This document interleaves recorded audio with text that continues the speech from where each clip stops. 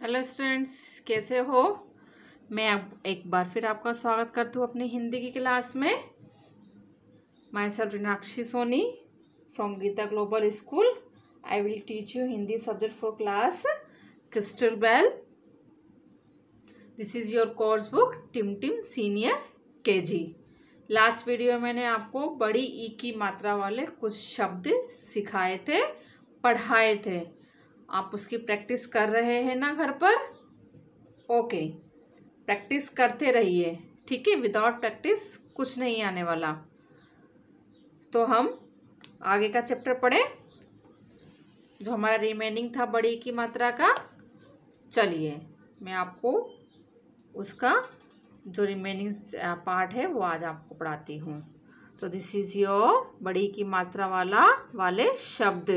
अब उसमें वापस से कविता है नटखट नीता। किसकी है ये? नटखट नीता। अब देखिए यहाँ पर क्या आएगी आपकी, हम सारी बड़ी की मात्रा वाले शब्द हैं। क्या है? बड़ी की मात्रा वाले शब्द। ठीक है? सबसे पहला है नीता मीता गीता। सबने खाया एक पपी पपीता पपीता। व, था, वह, मीठा मीठा। दिखा तभी एक चीता। डरी डरी सी मीता। मगर ना डरी गीता। कहती, ए मीता, नकली नकली चीता।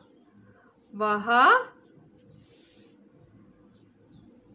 थी वह नटखट नीता।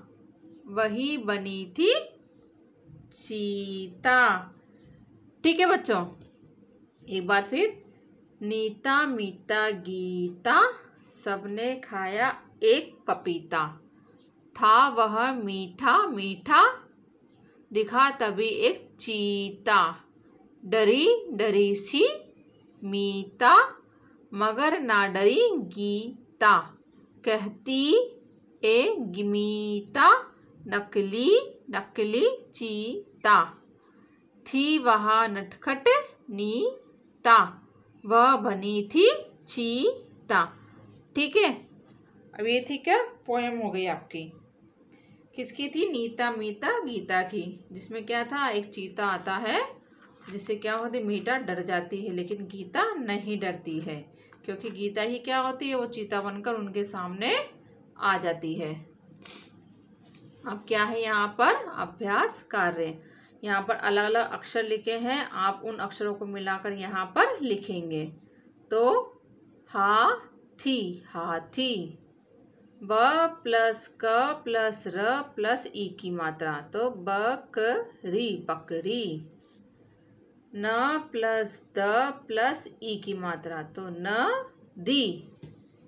घ प्लस ड प्लस ई की मात्रा इजिकल टू घड़ी घड़ी।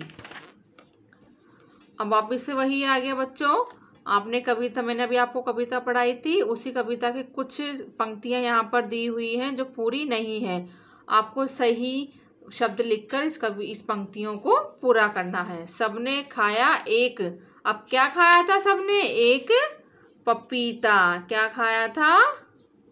प पीता पपीता। तब दिखा तभी एक, अब उनको क्या दिखा था एक? चीता। क्या दिखाता? चीता। डरी डरी सी कौन थी? डरी डरी सी मीता थी। कौन थी? मीता मीता। वह थी वह नटखट, थी वह नटखट, नीता।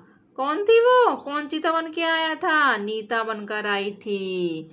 तो ठीक है बच्चों, पंक्तियों को हमने पूरा कर दिया है कविता में से देखकर। अब क्या है? समान शब्द से मिलान कीजिए। अब क्या है? यहाँ पर कुछ शब्द दिए हुए हैं, यहाँ पर भी दिए हुए हैं। सेम शब्द को छाट कर आपको उनको मिलाना है। जैसे एग्ज़ाम्पल यहाँ पर दिया हुआ है, दीदी को किससे मिलाया? दीदी से। और थाली को हम किससे मिलाएँगे? थाली से। सीता को, सीता से। शीशी को, शीशी से। और नीला को, नीला से। ठीक है, हमने अब क्या किया इसमें? शब्द को सही शब्द के साथ मिलान कर दिया है। अब क्या है बच्चों, यहाँ पर क्या क्वेश्चन है? उल्टे पुल्टे शब्दों को सही क्रम में लिखिए। अब यहाँ पर कुछ पिक्चर्स दी हुई है और उन पिक्चर्स का नाम को क्या कर दिया? उल्टा कर दिया मतलब सीक्वेंस में नहीं लिखा है। अब आपको बताना है कि ये किसकी पिक्चर है और इसका सही शब्द क्या है। अभी किसका है? पपीता। तो इसने पहले क्या लिखा था? ता पीप ता पीप नहीं होता, पपीता होता है। तो इसने यहाँ पर उसको सही तरीके से लिख दिया। अब है चीता चीता। अब यहाँ पर हम क्या लिखेंगे? चीता। फिर ए एक। फिर किसकी तस्वीर है? लड़की की। लड़की लड़की। तो this one your homework this one is your homework आपको ये जो दो पॉइंट्स है, क्वेश्चन है आपको किसमें करना है, अपनी नोटबुक में लिखना है। अगेन, आपको किसकी मात्रा लगाकर पूरा शब्द बनाना है? बड़ी की मात्रा लगाकर। अब ता में हम बड़ी की मात्रा लगाएँगे तो क्या बन गया? तीर तीर। अब किसकी फ़ोटो है? रा। ना में एक ही मात्रा लगाई तो नी रानी अब सा में एक ही मात्रा लगाई तो सी, टा में एक ही मात्रा लगाई तो टी, सी, टी। फिर